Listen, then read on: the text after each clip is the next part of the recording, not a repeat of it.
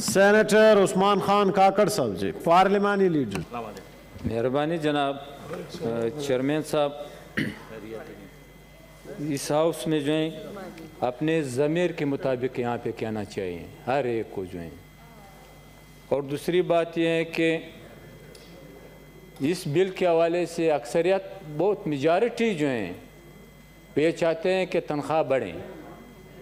البتہ بعض لوگ جو ہیں، وہ بعض لوگ جو ہیں اس پہ ابھی اب بھی اس پہ سیاست کر رہے ہیں۔ دل میں خوش ہے کہ یہ بڑھ جائیں مگر اس پہ سیاست کرتے ہیں۔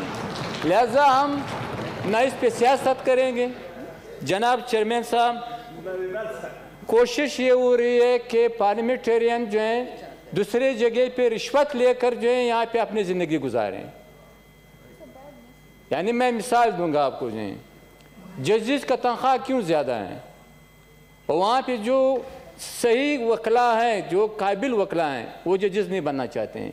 کیونکہ اس کی آمدن بہت زیادہ ہے ایک وکیل کا آمدن جو ہے، مہینے کا ایک کروڑ روپے بھی ہے، پچاس لاکھ روپے بھی ہے، یہ سب کچھ۔ ہے اس کے باوجود وہ جج نہیں بننا چاہتے ہیں۔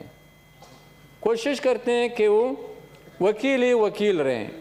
تو جناب چیئرمین صاحب، ججز صاحبان کا تنخواہ جو ہے، وہ تقریباً دس لاکھ سے زیادہ ہیں۔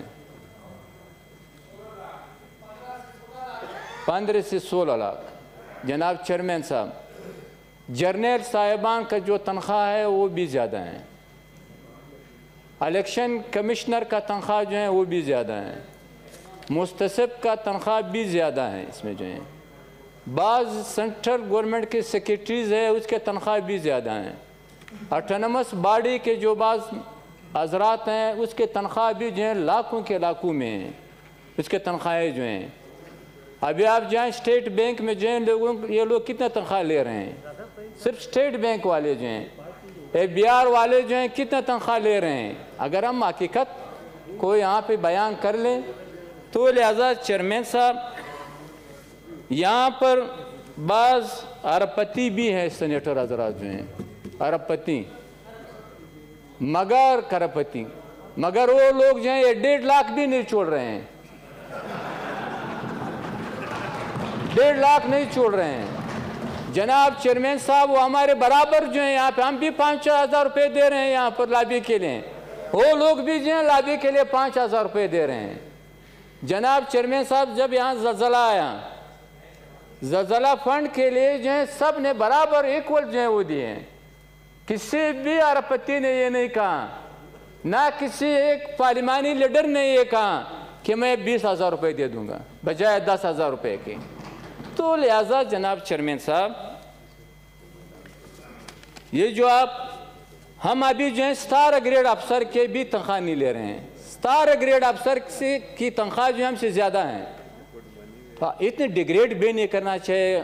اس آفسز کو، اس پارلیمنٹ کو جو ہیں ایسا حالانکہ بعض لوگ جو بائیس گریڈ کے ہیں، حالانکہ ایک پارلیمنٹرین جو ہے اس کی حیثیت جو ہے بہت بڑا ہے بہت بڑا ہے یہاں پہ بعض ایسے لوگ ہیں جو بغیر سیاست کے اور کوئی کام نہیں کرتے ہیں۔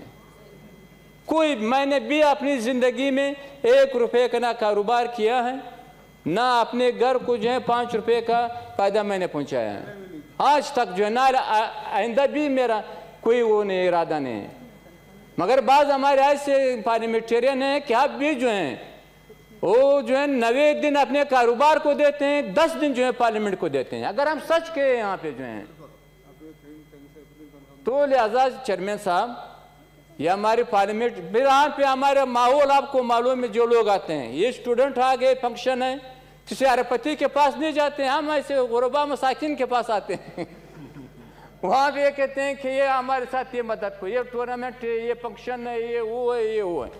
تو لہٰذا جناب چیئرمین صاحب سواتی صاحب تو سارے پارلیمنٹ کو جو ہے پال سکتے ہیں اگر وہ ہمت کریں۔ تو لہٰذا چیئرمین صاحب یہ تنخواہیں بڑھانا چاہیے۔ بالکل۔ وہ کون سا جگہ ہے کہ ہم نے عوام کے خدمت کے لیے عوام کے مراعات کے لیے عوام کے لیے ہم لوگوں نے یہاں پہ کام نہیں کیا ہے؟ مگر وہ لوگ جو عرب پتی ہیں، وہ کوشش کریں عوام کے نوالا چین لیں، کسی سرمایہ دار کے منہ میں ڈال دیں۔ جو تنخواہ کے خلاف بڑھنے کا جو ہیں، وہ عوام کو لوٹ رہے ہیں۔ لہٰذا ہم یہ کہنا چاہتے ہیں کہ تنخواہ بڑھانی چاہیے۔ چاہے سپیکر کا ہو، چاہے چیئرمین کا ہو، چاہے ہر سینیٹر کا ہو، چاہے ہر ایم این اے کا ہو۔ ہمیں جو ہیں، میڈیا جو ہیں، ہمارے رہنمائی نہ کریں۔ میڈیا والے جو ہیں بس میڈیا نے جو کچھ کہہ دیا ہم پھر ڈیفنس پہ ہیں۔ آپ میڈیا کے انکر سے پوچھو۔ ایسے انکر ہے کہ وہ ساٹھ لاکھ روپے تنخواہ لے رہے صافی صاحب بیٹھے ہیں میڈیا کے آئیس انکر نے ساٹھ لاکھ روپے تنخواہ لیتے ہیں۔ وہ کم کر دے غریب عوام کو دے دیں۔ پچاس لاکھ روپے بیس لاکھ تو عام انکر کا ہیں۔ مگر پچاس لاکھ والے انکر جو ہیں پارلیمنٹ چرین پہ وہ بات کر رہے ہیں۔ کیونکہ تنخواہ جو ہیں ڈیڑھ لاکھ روپے مت زیادہ کریں یہ نہیں ہونا چاہیے۔ ہر جگہ پہ جو ایمانداری سے بات کرنا چاہیے۔ تھینک یو تنخواہ بڑھنی چاہیے۔